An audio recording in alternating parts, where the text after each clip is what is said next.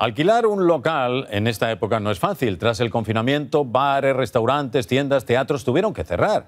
Ahora los expertos inmobiliarios ponen la mirada en el futuro de los locales en alquiler. Levantar la persiana de un negocio en España es complicado. Y quitar el cartel de Salquila más todavía.